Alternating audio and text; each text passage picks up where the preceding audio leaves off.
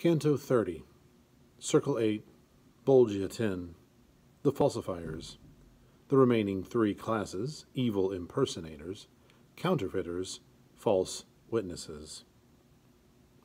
At the time when Juno took her furious revenge for Semele, striking in rage again and again the Theban royal house, King Athamas, by her contrivance, grew so mad that seeing his wife out for an airing with his two sons, he cried to his retinue, Out with the nets there, nets across the pass, for I will take this lioness and her cubs, and spread his talons mad and merciless.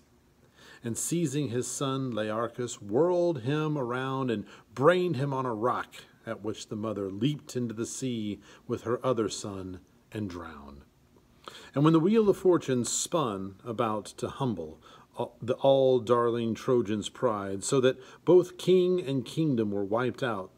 Hecuba, mourning, wretched and a slave, having seen Polyxena sacrificed, and Polydorus dead without a grave, lost and alone, beside an alien sea, began to bark and growl like a dog in the mad seizure of her misery. But never, in Thebes nor Troy, fury seen to strike at man or beast in such a mad rage as two I saw, pale, naked, and unclean, who suddenly came running towards us then, snapping their teeth as they ran, like hungry swine let out to feed after a night in the pen. One of them sank his tusks so savagely into Capocchio's neck that when he dragged him, the ditch's rocky bottom tore his belly. And the Aretine, left trembling by me, said, That incubus in life was Gianni Schicchi. Here he runs rabid, mangling the other dead. So, I answered, and so may the other one not sink his teeth in you, be pleased to tell us what shade it is before it races on. And he, that ancient shade in time above, was Myrrha, vicious daughter of Cinyras, who loved her father with more than rightful love. She falsified another's form and came disguised to sin with him, just as that other who runs with her, in order that he might claim the fabulous uh, lead mare, lay under disguise in Buoso Donati's deathbed and dictated a spurious testament to the notaries. And when the rabid pair had passed from sight, I turned to observe the other misbegotten spirits that lay about left and right. And there I saw another husk of sin, who, had his legs been trimmed away at the groin, would have looked for all the world like a mandolin. The dropsy's heavy humor, which so bunch and spread the limbs, had disproportioned him till his face seemed much too small for his swollen paunch. He strained his lips apart and thrust them forward the way a sick man, feverish with thirst, curls one lip toward the chin and the other upward. Oh, you exempt from every punishment of this grim world, I know not why, he cried. Look well upon the misery and debasement of him who was Master Adam. In my first life's time, I had enough to please me. Here I lack a drop of water for my thirst. The rivulets that run from the green flanks of Casentino to the Arnos flood, spreading their cool, sweet moisture through their banks, run constantly before me, and their plash and ripple and imagination drives me more than the disease that eats my flesh. Inflexible justice that has forsaken and spread my soul like hay, to reach it the more closely finds the country where my guilt was bred this increase of my grief. For there I learned, there in Romena, to stamp the Baptist image on alloyed gold till I was bound and burned. But I could see the soul of Guido there, or of Alessandro, or of their filthy brother. I would not trade that sight for all the clear, cool flow of Branda's fountain.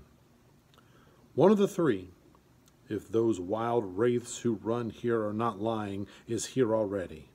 But small good it does me when my legs are useless. Were I light enough to move as much as an inch in a hundred years, long before this, I would have started off to cull him from the freaks that fill this fosse, although it winds on for 11 miles and is no less than half a mile across. Because of them, I lie here in this pig pen. It was they persuaded me to stamp the florins with three carats of alloy, and I, then, who were those wretched two sprawled alongside your right hand borders, and who seemed to smoke as a washed hand smokes in winter? He replied, They were here when I first reined into this gully, and have not changed position since, nor may they, as I believe, to all eternity. One is the liar who charged young Joseph wrongly, the other, Sinon, the false Greek from Troy. A burning fever makes them reek so strongly.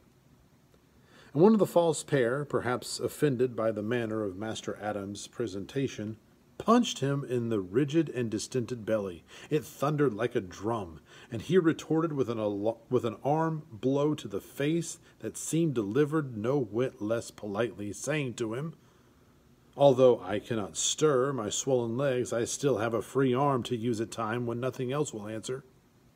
And the other wretch said, It was not so free on your last walk to the stake, free as it was when you were co coining. And he of the dropsy, That's true enough, but there was less truth in you when they questioned you at Troy.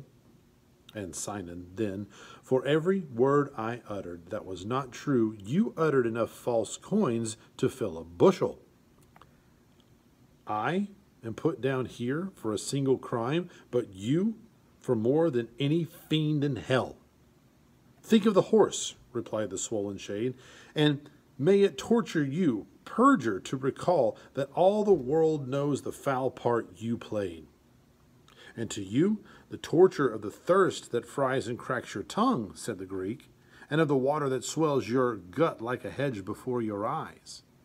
And the coiner, so so is your own mouth clogged with the filth that stuffs and sickens it as always, if I am parched while my paunch is waterlogged, you have the fever and your cankered brain, and were you asked to lap Narcissus's mirror, you would not wait to be invited again. I was still standing, fixed upon those two, when the master said to me, Now keep on looking a little longer, and I quarrel with you. When I heard my master raise his voice to me, I wheeled about with such a start of shame that I grow pale yet at the memory. As one trapped in a nightmare that has caught his sleeping mind, wishes within the dream that it were all a dream, as if it were not, such I became. My voice could not win through my shame to ask his pardon, while my shame already won more pardon than I knew. Less shame, my guide said, ever just and kind, would wash away a greater fault than yours. Therefore, Put back all sorrow from your mind, and never forget that I am always by you should it occur again, as we walk on, that we find ourselves where others of this crew fall to such petty wrangling and upbraiding. The wish to hear such baseness is degrading.